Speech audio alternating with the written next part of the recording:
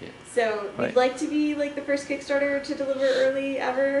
um, like Yeah. we've, This was a I've, slip. yeah. But but I've it, backed like a hundred plus Kickstarters, and like it's very frustrating when people deliver late, and it's super frustrating when they seemed like they knew what they were doing, and then it's clear that they don't because they shipped like two years late. Right. Right. Um, so I, I, we spent a long time waiting to launch until we knew right. or thought we knew at least. I hope we know Right. like, Like, what we were doing. We have competitive bids for pretty much all the parts of this at Huh. different scales. Cool. And so that was one of these things like we didn't know Huh. when we launched if we were going to sell 500 keyboards or Yeah. 5,000 keyboards. Right. Pretty sure we we're going to sell 50,000 keyboards. um, but we also we 5,000 is about the point where we flip that tier to sold out and then and then open up the 1,000 keyboards for May, 6,000 key, uh, 1,000 keyboards for June. Mm-hmm. Um, and so that like we are well aware of the places where we where we would start to fall down. Mm-hmm. Um, the thing that is hardest to scale is the milling,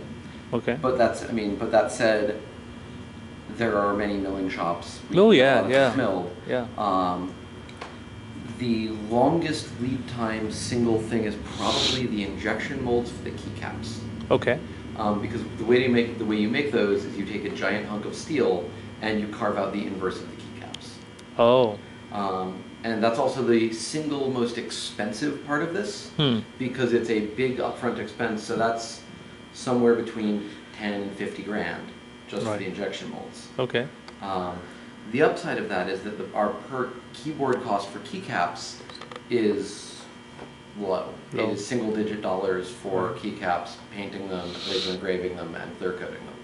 Cool. Um, So, so basically, if an investor stepped up and So- footed like you know maybe hundred thousand dollars, So, you uh, know, so just to be to be clear, we we have Right. taken a tiny little bit of VC from uh, from Bloomberg. Okay. We blogged about this about a month ago because we Yeah. we weren't trying to hide it. Yeah. But it's also like it's not like hey look we're a VC funded company. Yeah. They invested in us as a toy. Okay, Like they invested in us because the guy who runs the fund wanted Uh-huh. a keyboard and thought it would be neat, and his Yeah. and the people who work for him don't get to say no. right? No, but, but I'm I'm thinking I'm I'm just Yeah. saying like you know if it, the way I'm hearing it, Yeah. it's like a it's a one time investment. It'll get you you know your uh, almost like you know for the future like the Mm-hmm. the molds and everything Right. created, and then you get into the part where you know you you maybe ha- you may be suc be successful Right. at like you know customizations you Yeah. know like uh, i want a i want a pink key why Right. can't i get that you know yeah, and that's it is. Um, and so one of the things that we need to So- balance is when you get injection molds made, you can Right. make them out of hard steel or soft steel or aluminum, right and they last for different numbers numbers of of uses. okay And the thing we do know is that we are gonna whatever we ship as the Model One, we hope it's really good, but we bet we're gonna learn something from the keycaps. right And so we don't want to invest a lot of money in a mold that's going to last 15 years correct the first time out. We would much Yeah. rather build something and then, you know, be able to do another thing. And if the first thing was really catastrophically wrong, when we do the second sets of, you know, the second round, be able to say, okay, hey everybody, um, you know, if you pay postage and like three bucks, we'll send you new keycaps because Yeah. we know we did it wrong. yeah Um, but yeah, it's it's we don't know how long it'll take. Yeah. We think we've, we think we've set it to a, conser- a conservative timeline mm. um, because we don't want we don't want to let you down. mm-hmm. Um, we don't want to be those guys. yeah Um, that said, when we screw up, we're going to try to be as honest and forthright about it as we can. Um, that is scary as hell, but no no no yeah, no no, I mean, it's like it's scary to me Yeah. to be like, Yeah. here's this thing I did wrong that is going to delay everything three weeks. right Um, and the thing, and if, especially if the thing I did wrong was I was sleepy and skipped a step. but you, you know but i mean to that point at this point everybody who's like on kickstarter and Yeah. gofundme i mean th- Yeah. they know that Yeah. like you know they've invested already Yeah. you know so i mean i not, not to say that that's the standard now Yeah. but yeah if it's it's a good aspiration to meet the deadlines you know and manufacturing related delays Yeah. they, i mean everybody understands that you know that happens because of different economies or whatever manufacturing wise so yeah so it would be cool to actually see you know after the kickstarter is done yeah, you know the next uh, design challenges that you are going to take you know Yeah. see what what comes out of that Yeah. in the future. It's a little weird I have this one tiny little hobby keyboard kit that I designed like five months ago on a Yeah. weekend just for Mhm. fun. Yeah, now it's Um, like, well that um, that our friends at Massdrop want to sell. oh, okay, And I they could have launched it five months ago. yeah, But we sort of said there's no way that, like that will wait until after the Kickstarter because I don't want someone to even think that I'm yeah. You're ready. yeah. yeah. you're ready to ship that right Well, right away. and don't want that to be our first product. Correct. Like that's a hobby product for some for Yeah. people who like a very specific thing. So uh, let me ask you this: like Mass Massdrop, I'm glad you men- mentioned Yeah. them because I know a lot of people that um, uh, try to take the uh, they try to learn the art of cre- you know creating keyboards, um, and they have actually succeeded at doing their independent builds of Yeah. keyboards. Uh, would would your project like appeal to them as equally as well as like uh, somebody new that's coming from like the regular you know QWERTY keyboard? Um, Appeal to people who shop on Massdrop or oh, oh no, who've actually already accomplished uh, you know their own cuts of like you know custom keyboards. Um, there are plenty of people who have backed the Model One who have Already- I they're already- know already have an Ergodox. Yeah. And there have been plenty of people complaining that this is coming out the same year as the Ergodox Infinity and, uh, and Oh, the okay. Axios. Okay. I'm so poor. Oh, okay. Um, the the folks who are who are really into keyboards. Yeah, They're into keyboards. yeah, Um, and our goal, I mean, our goal is to do something that's a little bit broader and is designed for people. okay. And that's that's a lot of the. Okay, so your that's your what your intent was to actually target you know that demographic. Okay, like- that's cool. You know, that's the whole. Yeah. Yes, it's open hardware. But Yeah. It's open hardware in that you can open Yeah. it, Huh. not in that you need a soldering iron before it works. Yeah. No, I'm really particularly excited on the uh, programmatic, like you know, because now.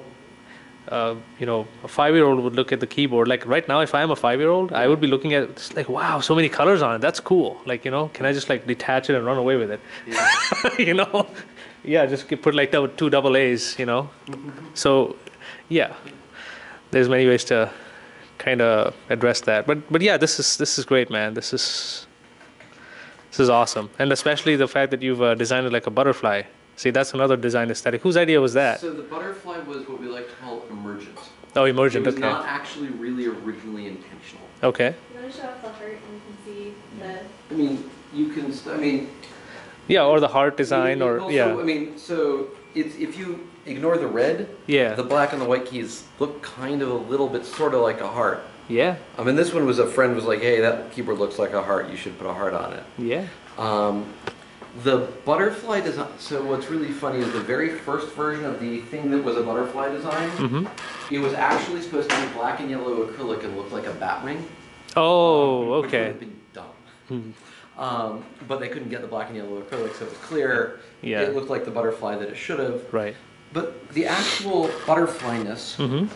what we needed is we needed some wood up at the top to protect your keycaps. okay And then we needed a palm rest. We needed a Right. place for your palm to go so that you keep your hands in a reasonable in a reasonable position. right so it just kind of emerged Right. And, than- and then you yeah. start thinking about, well, you want to kind of minimize the amount of extra wood you use, so you pull it in here. yeah Um, and it was, and it Hmm. looks kind of like a butterfly. yeah Um, Cool. Any other questions, audience? I had a question. Yeah, Um, I'm really interested in like crowdsourcing stuff. So I'm I'm interested like what what was the process for you going from I have this product and now I'm gonna crowdsource it? Like, what's the process for getting a video done? And did you like hire out any like Sure. media promotion? um, Sure. yeah. I mean, You wanna- I'll, I'm happy to. You want to talk about that? Let, let Kai All right. talk for a Yeah, while. yeah, go ahead. Yeah, yeah. Um, yeah, so for getting a video, we put up a, like, we, we thought about doing it ourselves, and then we looked at, like, footage that we had taken, and it was all terrible.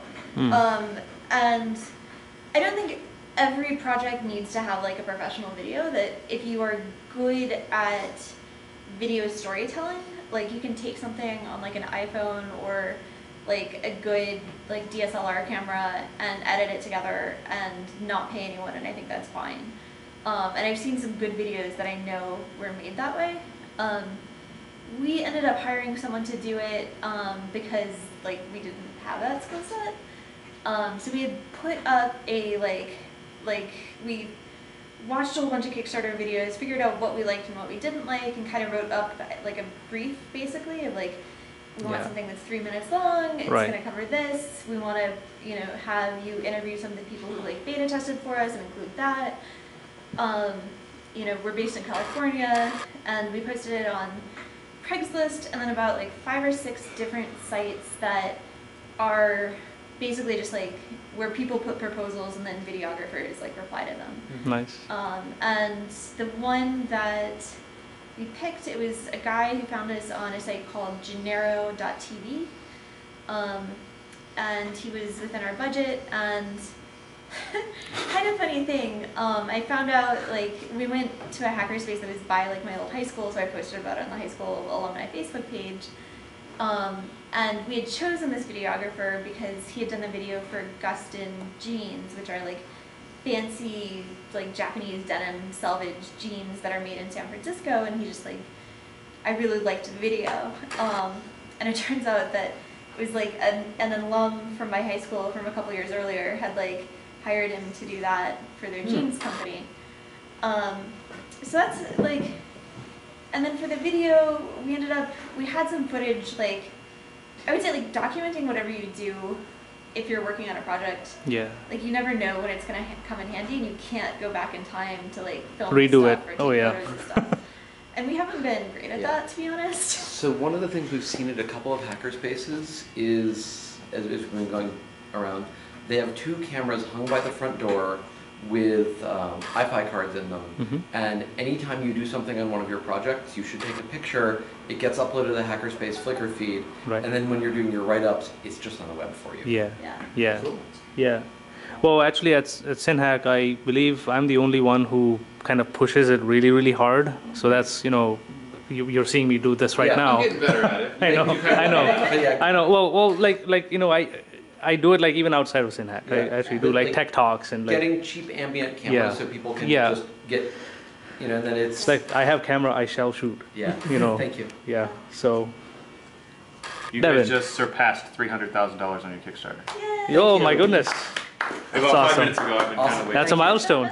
Father's Day. And you still got twenty-four days to go, so it's gonna Yeah. be Yeah. yeah, It's gonna be interesting, like the final cap. You know, like Yeah, uh, are you're gonna be busy for about a year. We're gonna be delivering, busy for a real long time. delivery, Um, delivery. That's good to be Yeah. like.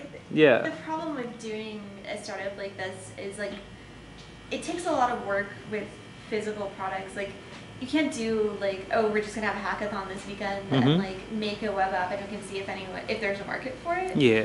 Um, and like, there's always a part of us in the back of our mind that like we have this very particular vision for what we want to make, Mhm. and we don't know if anyone really wants it. And Yeah. like until people are actually willing to like pay you with a credit No, card. I you know one one thing in one thing I particularly enjoyed about your story arc is that um, like you know you kind of didn't wanna you you kind of got the feelers first, you know, Yeah. because a lot of makers they just kind of make they don't they don't have the patience to probe. The, you know the, the community so i mean i, I think i, Yeah. I think uh, i give you you know Yeah. props for like you know using your skills in software to kind of at least like reach out get the feelers like you know i got this idea but i mean i really would want to work on it if you know a lot of people would have You the spin that interest in, in a very nice positive light. The way I think about it is Uh-huh. that I am incredibly release shy. I'm, Oh. It's the like, Okay. I'm not sure it's good enough to be worth anyone seeing. Right. So I'll just work on it some more. okay Um, and so that has a lot to do, a lot Yeah. to do with why, you know, it's Right. like, and I try to talk about it a little bit to yeah try to find out. Mm-hmm. Um, But there's, I mean, there's stuff we've learned because we put it in front of other people. correct like- yes the feedback we've learned stuff this week. Like we Yeah. have design changes we're making because of watching people at Interact. spaces this Yeah. week. yeah Um, yeah so that's cool see other things about trying to get to a crowdfunding campaign from from a hobby project.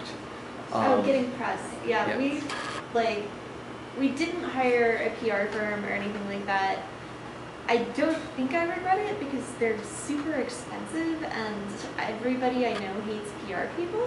oh Um, huh okay but at the same time, um, we haven't actually gotten much press coverage.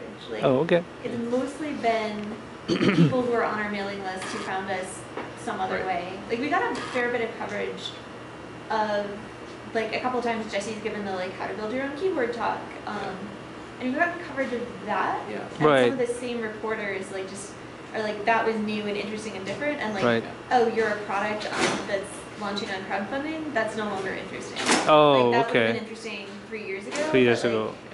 Hmm. Now it's like three hundred thousand dollars. Like for me, that's like a huge amount of money Yeah. that like we've convinced Yeah. people to trust us Yeah. to take so Yeah. we can give them this product. Yeah. Um, and for them, they're like the coolest cooler was you know millions and millions, and your Interesting. tiny and I never, I never realized that. You know, that would be a gap. Like, Yeah. yeah, I mean, Um, be public about what you're working, I mean, assuming that you, that, that you can be public about it, yeah, blogging about it, tweeting about it, having a pla- having a mailing list that people can subscribe to to find out. Um, building basically, the thing you need to go to crowdfunding is your own mailing list. Um, generally, the number that Kickstarter gives is that 80% of your sales will come from you, 20% of your sales will come from their community. And so, if you, I mean, we went in with a 6,500 person mailing list, and the numbers that they say are usually like 5% of your mailing list will, will buy your thing. Hmm. Um, ours was a little higher because the people who subscribed to our mailing list clicked a button that said, I want to buy one. Um, and then we strung them along for two years. um, whereas some people, their mailing lists are download my free ebook or, yeah. you know, like th- things like that. Hmm. Um, Very be cool. honest and genuine. Like if you want to do the, the kind of Kickstarter we're doing, it's like be honest and genuine and truthful. Um, like try to be professional.